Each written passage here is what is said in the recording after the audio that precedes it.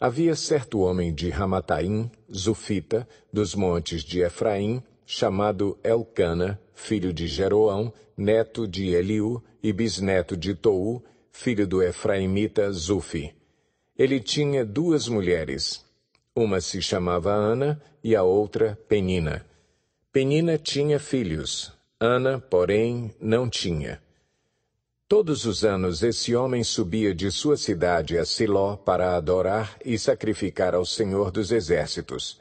Lá, Ofni e Finéias, os dois filhos de Eli, eram sacerdotes do Senhor. No dia em que Elcana oferecia sacrifícios, dava porções à sua mulher Penina e a todos os filhos e filhas dela. Mas a Ana dava uma porção dupla, porque a amava, apesar de que o Senhor a tinha deixado estéril. E porque o Senhor a tinha deixado estéril, sua rival a provocava continuamente a fim de irritá-la. Isso acontecia ano após ano.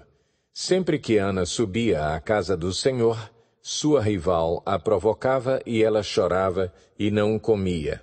Elcana, seu marido, lhe perguntava: Ana, por que você está chorando? Por que não come? Por que está triste? Será que eu não sou melhor para você do que dez filhos? Certa vez, quando terminou de comer e beber em Siló, estando o sacerdote Eli sentado numa cadeira junto à entrada do santuário do Senhor, Ana se levantou e, com a alma amargurada, chorou muito e orou ao Senhor.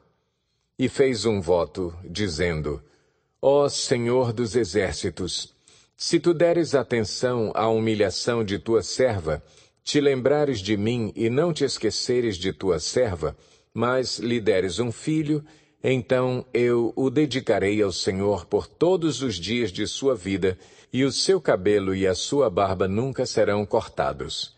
Enquanto ela continuava a orar diante do Senhor, Eli observava sua boca. Como Ana orava silenciosamente, seus lábios se mexiam, mas não se ouvia sua voz. Então Eli pensou que ela estivesse embriagada e lhe disse: Até quando você continuará embriagada? Abandone o vinho. Ana respondeu: Não se trata disso, meu senhor. Sou uma mulher muito angustiada. Não bebi vinho nem bebida fermentada. Eu estava derramando minha alma diante do Senhor. Não julgues tua serva uma mulher vadia. Estou orando aqui até agora por causa de minha grande angústia e tristeza. Eli respondeu: Vá em paz, e que o Deus de Israel lhe conceda o que você pediu. Ela disse: Espero que sejas benevolente para com tua serva. Então ela seguiu seu caminho, comeu, e seu rosto já não estava mais abatido. Na manhã seguinte, eles se levantaram e adoraram o Senhor. Então voltaram para casa em Ramá. Elcana teve relações com sua mulher Ana, e o Senhor se lembrou dela. Assim, Ana engravidou e, no devido tempo, deu à luz um filho. E deu-lhe o nome de Samuel, dizendo: Eu o pedi ao Senhor.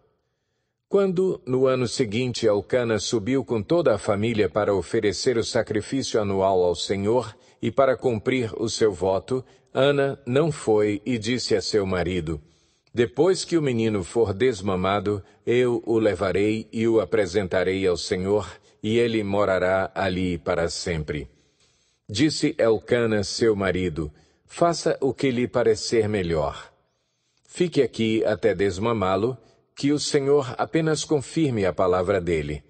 Então ela ficou em casa e criou seu filho até que o desmamou. Depois de desmamá-lo, levou o menino, ainda pequeno, à casa do Senhor, em Siló, com um novilho de três anos de idade, uma arroba de farinha e uma vasilha de couro cheia de vinho.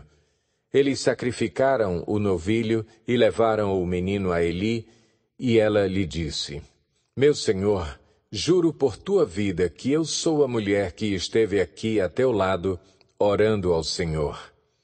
Era este menino que eu pedia, e o Senhor concedeu-me o pedido. Por isso, agora, eu o dedico ao Senhor.